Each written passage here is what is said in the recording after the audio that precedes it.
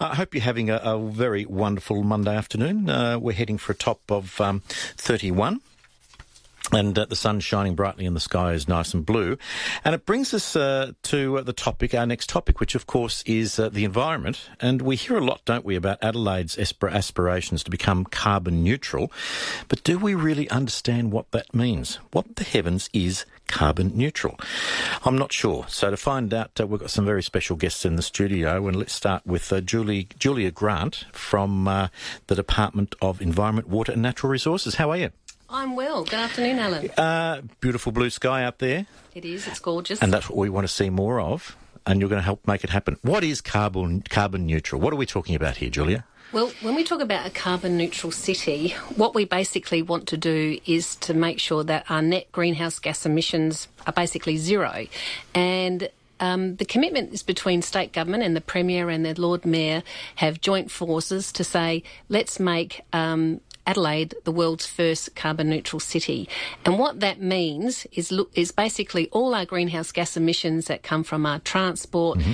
um, basically the energy in our buildings and, and residential homes, basically to zero. So um, that requires things like energy efficiency. It requires um, low emission transport, changes the way we um, build our buildings, and um, a whole raft of things. And also looking at we're not going to get down to zero by doing everything. We know that we will at some stage need to offset. Now, offset means all those emissions that we're not going to get down to zero by having energy efficiency or renewable energy mm-hmm. or low emission transport. We're going to have to offset them in some way.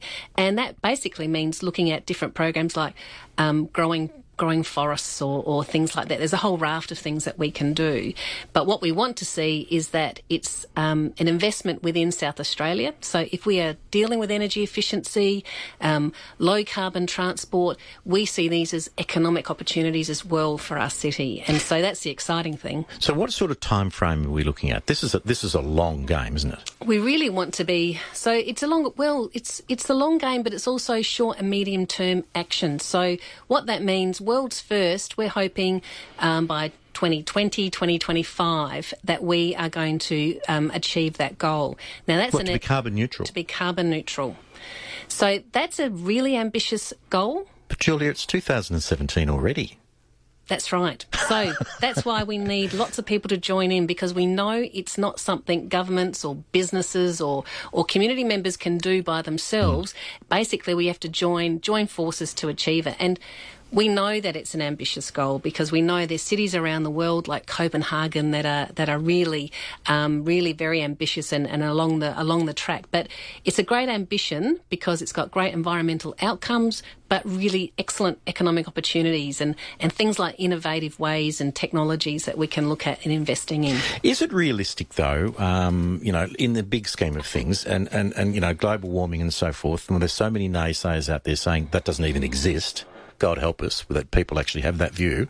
Uh, feel free to call in if you want. Eight double two three double o double o. We can have that discussion. Um, but uh, you know, go down to Pirie Street, rush hour, for example. You can't move in the street and you can't hear yourself because of the amount of buses driving up and down the street and you know dragging off and, and you know driving off and, and and pulling in and so forth how, how are we going to achieve such a target in such a short short time when we're reliant on uh, that sort of public transport? Well, I, I believe we're already beginning to see the change occur. So um, there's a commitment with the government to look at um, um, electric buses, um, solar buses, um, you know, looking at biodiesel trials, and um, similarly, uh, the Minister for Energy released a, a, hydrogen roadmap and looking at sort of the big vehicles in with hydrogen fuel cells. So and electric vehicles is is going to be the car of the future, I believe, and and solar solar powered vehicles. We've just had the World Solar mm, Challenge yep, in yep. in South Australia, and and really the the innovation and the work that's happening is quite quite amazing. So yes, it is a big change, but I believe that just like solar panels, when they started off being quite expensive, how they've come down so so far in pricing, and that nearly one in three South Australians have got solar panels. So I think we will eventually see the same change happen.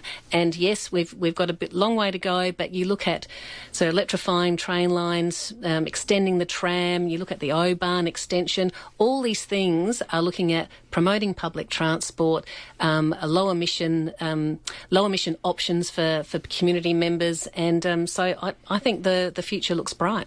And uh, I guess you know, in a strange way, the, the closure of Holden at the end of this week does create a new opportunity, doesn't it, to go down that path of solar cars and electricity, electric cars and so forth. In my personal view, probably more so than driverless cars, but certainly electric cars. Well, I think well, you look at some of the Tesla cars. I mean, they mm. um uh, they, they're electric and they're autonomous too. So um, I, I honestly think that by the time I'm sort of, you know, heading into retirement, I think what people are driving on the roads are going to be significantly different from mm, now. Mm. And uh, as we know, uh, we talked about this a couple of weeks ago with the Lord Mayor, there are recharging stations popping up all over Adelaide, you know, the, the uh, central market and so forth yes. for electric cars. Yes, and and, there, and there's a few places um, plotted around in, in some sort of uh, shopping shopping areas that will start seeing some um, recharging. So recharging, but also the price point of electric vehicles at the moment sort of feels out of reach for mm. most people. But like I mentioned before, I, I think there'll be a big change. We we no longer need tariffs to protect our car industry anymore. So we want to see, see some of those um, removed, and um, our, and the uptake increased. So, um, and it just makes sense because sometimes that capital outlay on a, a, vehicle like that might seem quite high, but the fact that you're not going to be having um, to have repairs or, or um, you know, sort of uh, as frequently as we have with our cars we have now will be an investment which saves money in the future. And it's interesting, isn't it? Uh, we were the highest uptake, had the highest uptake of solar panels, as you said, in Australia. We still are, yeah. I, I, I, believe. Yes, and um, Queensland, Queensland is still fairly high as well, but um, really South Australia is mm. one in three. And and I think it goes to a lot of what South Australians do well um, you know, historically, like container deposit legislation, the banning of shopping bags, mm. um, a whole raft of things that South Australians just take up and just lead the way on mm. and don't think twice about it, but really they, they're trailblazing. So we've uh, identified this target and uh, uh, we've put an action plan into place. Um, as a result, we have a number of partners, or you have a number, number of partners yes. Uh, throughout uh, Adelaide. Do you want to tell us about those partnerships? So this is um, uh, the Carbon Neutral Adelaide Partnership Program. So we launched the program. Um, my minister, Minister Hunter, in Hunter, the Minister for Climate Change, and the Lord Mayor launched the program in May, and um, we had 40 members at that point. We're now um, nearly 70, and we're hoping really to have a push on and to have some founding partners by the end of the year. And um, we we have um, a couple in the studio with mm-hmm. us here today, Hayley and Paul. Yep, we'll and, talk to you um, guys in a moment. Yeah. And um, and really, it's organisations that are like minded who are thinking what's good for the environment, but also what's good for their business. Because the younger generation, and I've seen it even in my own house with a 17 year old, 15 year old, and a 13 year old, are already looking at their purchasing decisions and they're looking on sustainability hmm. um, things. So companies are looking at how they can um, position themselves well, do something for the environment save themselves money because they, they have reduced utility bills by reduced um, you know energy efficiency measures, and um, and basically it's actually a great place to position themselves because I believe it's the way of the future, and it's the partners like Paul and Hayley that are getting uh, um, ahead of the curve and positioning their their um, their organisations really well. It's um, the, the, it's a necessity of the future, isn't it? It's not just the way. I mean, at the at the big picture, we have to go down this path. That's right. It's and, as simple as that. And although it seems like it's not really a new thing, a lot of, a lot of your listeners would. Um, um, either themselves or their parents or grandparents were living were living lives that were hugely energy efficient, water efficient, recycling, you know, reusing shopping bags and things like that. So mm. we're sort of coming full circle in a way. We're talking uh, about uh, Adelaide becoming uh, carbon neutral. I uh, hope we've explained thus far where we're headed with that. Uh, we'll talk to uh, Paul and Hayley just after this. Welcome back. It's 11 minutes away from 2 o'clock. We're talking about a carbon neutral uh, Adelaide uh, that uh, the target has been has been laid down for us, and we're on our way trying to get there. And in the studio, we have Julia Grant from the Department of Environment, Water and Natural Resources, who have been tasked with this this minor challenge. It's all your responsibility? Yes, and um, well, it, it's everyone's responsibility, Yeah. I suppose. And that I- was going to be my next line. It's not just you. That's right. We've, so we've all got to share the load, haven't we? we absolutely do. So, um, uh, leading the way in, in just sort of maybe coordination efforts is is really probably my role. But um, the City of Adelaide is a key partner, Mm. and we have, um, as I mentioned, seventy partners across the city that have all joined in to be partners and um, uh, looking to achieve um, the the target. And one of those partners, or two of those partners we have with us at the moment, uh, we'll, we'll begin with uh, Paul Davy from uh, Sustainable Design Consultants, D Squared Consulting. How are you, Paul? Yeah, good. Thanks, Sam. What does that mean? A consultancy. What are you? Uh, uh, uh, Yeah, uh, so we um, yeah we we just say everything's easy and provide advice and get paid lots of money to do that. And uh, but no, we um, we provide advice to state government agencies, to architects, to developers, building owners as to how they could make their buildings and infrastructure have less of an impact on the environment. So zero carbon is a big part of an environmental impact of a building. Um, we've previously developed Zero Carbon House, Zero Carbon Challenge House at Lochiel Park, uh, Zero Carbon offices in Port Adelaide. Last year, we uh, entered into the uh, Zero Carbon Entrepreneurs Challenge and secured a commendation for our Zero Carbon Apartments design. So uh, this is really know, no-brainer territory for us. yeah, just let's pare it back. Uh, I want to build a, a zero carbon house. What does that mean? Yeah, so um, zero carbon house is actually really, really simple. You know, it's a, a sort of single or two story house, conventional house that uh, you might want to build on a on a plot of land. Uh, the amount of energy that that house uses compared to its roof area is a really good match. So you can just put solar panels on the roof, uh, generate enough power for you to use, your house to use during the day, export the balance, and the net impact over the year is a zero net carbon impact. It's actually really, really quite straightforward. If you if you happen to be quite wealthy and can afford batteries at the moment, you can put a battery installation in and be truly uh, zero carbon. Uh, it becomes much more difficult, and this is the challenge that I think uh, state government and uh, city council have got for Adelaide. Much more difficult in an urban environment or a dense urban environment where buildings become taller, spaces become more compact, the roof area that you have isn't close to being enough to to put solar panels on, the size of batteries that you might need really becomes unaffordable. The space is an issue, so then it becomes a bigger infrastructure issue. So, but certainly at a housing level, it's it's uh, you know, genuinely it's actually quite easy. Does it also dictate as to what uh, materials I use to build my house? Yeah, a little bit. Although even if you built a, a house that was just basically deemed to satisfy building code compliance, so without any special features, you know, generally, you know, is you know like a like a volume built home, like mm. a sort of spec home, one and a half to two kilowatts of solar panels on the roof would still cover it off. So. The Zero Carbon Challenge house was a super low energy intensity as well, so we put a lot of effort into the building fabric design, materials, etc. But you don't well, one of the learnings that came out of that project is you don't have to do that. Uh, i i- you know, again, as you get more dense, it becomes more an issue. But if I really wanted to uh, go seriously down this path, I could make allowances on what sort of materials that I used. For example, concrete, not necessarily um, uh, carbon neutral as far as its production is concerned. So I'd find some more envir- environmentally friendly yeah, materials. Yeah, absolutely. So you're taking the pressure off of your, your solar system. If you're sort of, you know, being smart about the materials that you use, smart about the house design, maybe you can pull the solar panels down from two kilowatts to one and a half, maybe even one kilowatt if it was a super efficient home. So yeah, you can sort of, you know, that would save you money. You, you've got some money available then to put into some of the materials.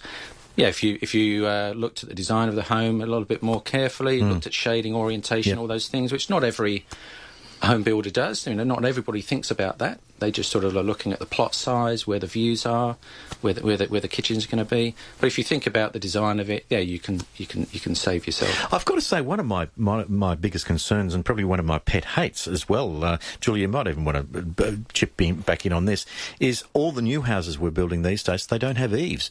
For goodness sake, the, the, the environment in which we live, building a house without eaves, I mean, it's just ridiculous, don't you agree? I think there's a, um, I think there's a big move towards going back, back to having those um, sort of. Remember the codes. homestead, this Yes, typical Australian homestead right. had a veranda all around it. It was there for a reason. That's right. That's right. So I, st- um, I think people are beginning to honestly think about that, especially if, if you want to reduce, you know, the size of your air conditioning or your heating costs and all those types Yeah. of things.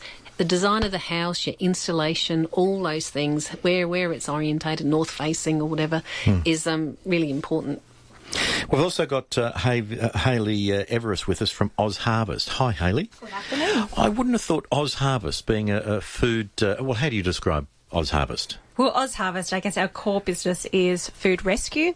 So that is the collection of surplus food from food businesses. So food that would otherwise end up in landfill. Hmm. And what we do is we redistribute that food out to lots of different charitable organisations in the community that can utilise that good food. It's a wonderful organisation. We've talked about it on, on the Yeah, program before, but I wouldn't have sort of drawn the logical conclusion between it and carbon neutral. How does how does how does your involvement come in yeah, with this plan? Sure. Well, look, when food breaks down in landfill, it creates a methane gas, and the methane gas is 25 times more har- uh, harmful than, than carbon dioxide. Um, so for us, in terms of the impact of our organisation, it's measured on, on two fronts. One is the social impact and, and be able to deliver that food out to the charitable organisations, but certainly the environmental impact in terms of the reduction of carbon emissions um, being safe from landfill is, is key for us. So really, it was probably a no-brainer for you to put up, put up your hand and become a partner over this one. Absolute no brainer. Yeah. And to join together with organisations across different sectors, I think that's just such a strength, um, you know, not for profit organisations and corporate organisations that are all coming together with a common goal. Um, and I think being very proud of South Australia and, and Adelaide, um, as Julia mentioned, you know, we're, we're leaders typically in the waste space and uh, I'm very proud of that as well. Paul, come back to you uh, about uh, the advice that you give. Um, we, we talked about uh, new houses and so forth, but you mentioned in the city, particularly high density, and you know the skyscrapers in which we, we all work in the city. That's a real issue, converting them.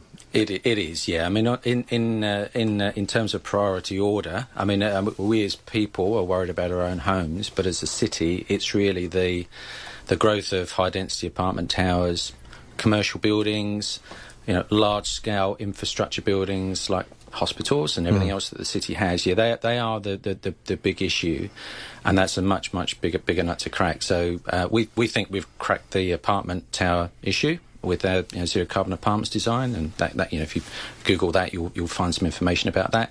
yeah, But how do we go about converting the, the, the buildings that already exist? yeah, so um, I think it's a combination of things. As you mentioned already, Alan, you can look at general energy efficiency, the older building stock. You can do simple things like, you know, lighting upgrades and air conditioning system upgrades, looking at the facades, making them more efficient. So we can pull down the base load to as low a position as possible, but it's still going to use energy. So then you've got to look at where the energy comes from. You can look at some embedded energy systems. So we've, we did a lot of work last year with Pete Souls on the use of biodiesel, which is a zero carbon fuel or very close to zero carbon. You could put a generator in the building that uses that fuel. It's pretty cost effective. Uh, it means detaching yourself a little bit from the grid, which brings in its own sort of uh, security of supply issues and what have you. Other than that, I think the, the, the biggest solution is really what state government is now focusing on now, which is trying to recapture ownership of where the electricity comes from in the state. So, if, for example, uh, we did nothing with the building stock and we did nothing about our energy efficiency, if all of the electricity that we that came into the grid was renewable, of course our buildings would have a zero carbon footprint. So you know, if, if you could if you could waste lots of renewable energy, would you still do it? You know, or would you you know? So there's there's there's there's a, there's got to be part of the solution has got to be looking at the grid. It's got to be looking at where the energy actually comes from because, as you mentioned, with the existing building stock, there's only so much you can do with efficiency. And of course, the buildings, the building owners have got to pay for that. Uh, they're private individuals. They've got their own balance sheets to, to deal with. They may not have the capital available to, to, to pay for that. And so there's a limit. Um, yeah, wh- where, how do you fill the gap? So I think infrastructure's got a big part to play there. So, Julia, a big challenge. a big challenge. And um, what government has a role in doing is trying to provide the levers for property owners and building owners and, and tenants to come up with a solution to be able to access finance um, to upgrade buildings and then um, tenants being better off with having lower lower electricity bills but also a much better uh, much more pleasant sort of building to be in. And um, we've done this through what we called a building upgrade finance mechanism, which um, went through Parliament on the end of 2015 as well. And we're getting to the point where now um, we have councils who will sign up and they can provide um, the mechanism with property owners and financiers to access that money to be able to do those upgrades because um, getting the money has been a bit of a barrier, especially when um, the tenant might be the um, beneficiary of, of um, having lower electricity bills, but the property owner is sort of not getting any benefit from that. So this mechanism has basically sort of a win-win really for um, tenants and building owners. And um, we're hopefully we're going to start seeing. We're already starting to see sort of the property and the building stock within the city change. And um, there's there's huge benefits with that. And of course, with the electricity, I mean, the, the, South Australian government has really gone down the road of investing in renewable energy with its energy plan, the solar thermal and, and the biggest battery, Tesla mm. battery. Mm. There's a whole raft of things that are quite exciting, which which again South Australia is at the forefront of and of and um, leading the way. It's interesting. Just in the la- in the conversation of the last twenty minutes, it's clear that. Uh, uh, we're a long way down this path than we probably most of us uh, think, which is um, a very uh, uh, important point to make. And that leads us to uh, the um, the carbon neutral Adelaide Awards program that people can get involved with. Yes, so this is a, a, a new awards program that we're hoping that people will will get on board and, and become part of. And there's a whole raft of things. And the, the purpose of the awards program is to what you say, Alan, is to, to recognise what people are already mm. doing. Mm. And um, it again, the environmental benefits and the business benefits are clear, but it's showcasing those um, partners and those buildings owners and, and companies and organisations like D Squared and Oz Harvest and Uniting Communities to showcase what they're doing um, for everyone to, to hear about and to encourage everyone else to be on board. So we have the first um, Carbon Awards program this year, and um, there's there's several categories that, that are around this year. So we've got um, Partner of the Year award. So this will be the organisation or, or, business or, or community organisation that has achieved the most significant carbon emissions. But it's not just about that. There's also about leadership and influence. So there's a leadership and influence award. There's a low carbon economy award. So the most outstanding example of an organisation which has embraced that transition. Um, there's an innovation award, so there might be some amazing innovation that's just beginning to take off, and someone has applied it. Um, they might not have huge emissions reduction just yet, but the innovation is so significant that it's really worthy of, of being recognised. And then then there's this um, award which is really for householders and, and mm-hmm. people in their homes. And we're calling it the New Normal Award, which is an unusual title, but it's about these households that are, are, demonstrating their aspirations for reducing their emissions and, and their own footprint and really want to recognise those people too. So, yes, so All it's right. exciting. So, for more details on that uh, area, go to Carbon Neutral Adelaide. That's all one word, carbonneutraladelaide.com.au, and uh, just Google in there some awards and uh, you, you'll track the details from there. Absolutely. All right. Uh, interesting conversation. Uh, it's it's it's very uh, encouraging to learn that uh, we're further down the path than uh, we probably thought 20 minutes ago. So thank, thanks for coming in. Uh, Julia Grant from the Department of Environment and Natural Resources, Paul Davy from D Squared, Sustainable Design Organisation, and Hayley Everuss from Oz, Oz Harvest log on to that uh, website and uh, find some more details. Great. Thank okay, you very much. Thanks a lot. To stay with us after the break, uh, we'll uh, solve all of your IT issues because the man himself is here, Richard Pascoe.